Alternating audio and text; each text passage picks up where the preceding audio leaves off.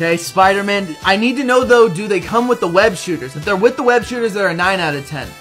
Uh, Extendo Inspector Gadget, Rock'em Sock'em, 6 out of 10.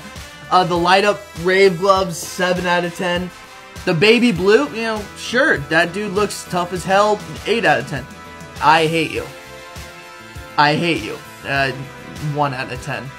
I hate you. Why are you doing this to me?